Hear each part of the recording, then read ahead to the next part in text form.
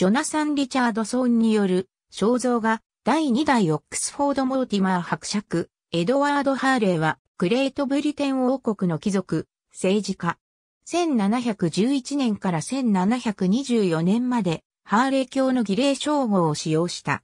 初代オックスフォード・モーティマー伯爵ロバート・ハーレーと一人目の妻、エリザベス・フォーリーの息子として、1689年6月2日に生まれた。幼年期をブランプトン・ブライアンで過ごし、宗教的な家庭で育った。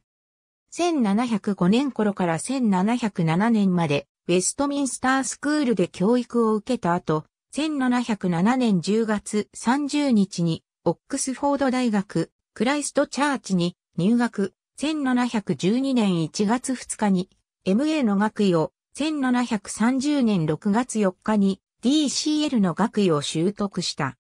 1710年イギリス総選挙で議席を得られなかったものの、翌1711年のラドノー選挙区の補欠選挙で当選、議会で父の政策を支持した。しかし、1715年イギリス総選挙で落選、さらに父が長い弾劾裁判にかけられて影響力を失った。1722年イギリス総選挙でケンブリッジシャー選挙区で当選して議員に返り咲いたものの以降も影響力を発揮することなく1722年から1724年まで庶民院で発言や投票した記録がなかったという。1724年5月21日に父が死去すると、オックスフォード・モーティマー伯爵の爵位を継承した。以降は貴族院に移籍、1741年には、ロバート・ウォルポールの罷免動議に反対票を投じた。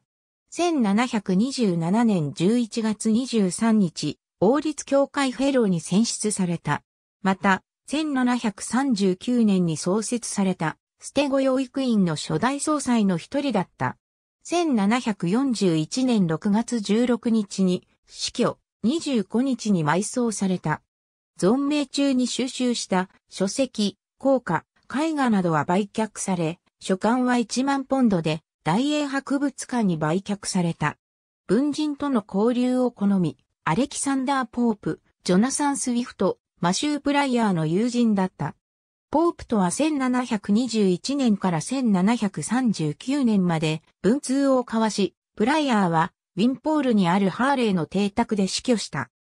コーンベリー子爵は1735年にジェームズ・ローシン王に対し、第2代オックスフォード・モーティマー伯爵を定まっておらず、人気のあることをするように見せかけることを好むと述べ、英国人名事典は無能というよりは怠惰が原因となって政務に関わらず社会に関心を持たなかったと評した。1713年8月31日、ヘンリエッタ・キャベンディッシュ・ホールズと結婚。一男一女を設けた。